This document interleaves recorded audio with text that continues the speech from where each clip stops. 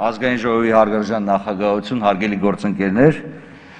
այս տարի մենք նշում ենք Միավորված ազգերի կազմակերպության ստեղծման 75-րդ տարեդարձը։ Ինչի համար էր ստեղծվել ՄԱԿ-ի կառույցը։ Մի քանի նպատակների համար։ Առաջինը՝ Միավորված ազգերի կանոնադրությունը արգելեց ուժի եւ ուժի կիրառման ցանկացած սպառնալիքի կիրառումը որպես այդպեսին։ Երկրորդ, Միավորված ազգերի կազմակերպությունը արգելեց ուժի կիրառման որևիցե տեսակի կիրառումը եւ արձանագրեց, որ բոլոր վեճերը պետք է լուծվեն բացառապես խաղաղ միջոցներով։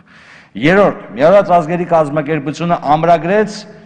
որ բոլոր մեծ եւ փոքր ժողովուրդները իրավահավասար են եւ ինքնորոշվելու իրավունք ունեն։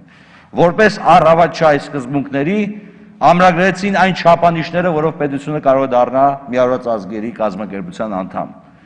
ՄԱԿ-ի խաղաղասեր չեն, որոնք ունակ չեն կատարել իրենց ստանձնած պարտավորությունները եւ չունեն վաղեմության ժամկետ։ Այն անձինք, ովքեր կատարել են նման հանցագործություններ, մշտապես դատապարտվելու են եւ դատապարտվելու են ոչ միայն Հայաստանում, այլ ցանկացած այլ քաղաքակիրթ երկրում։ Ես այստեղ պարտավոր եմ հիշատակել Նյուրնբերգյան դատարանի դատարանում ԱՄՆ կողմից ներկայացված մեղադրող դատախազ Բենջամին Ֆերենցի բարերը, որին դատական նիստում ասեցին. «Գիտեք, նացիստական այն հանցագործը, որի մեղադրանք պետք է ներկայացնենք այսօր, ծանր հիվանդ է, նա չի կարող գալ»։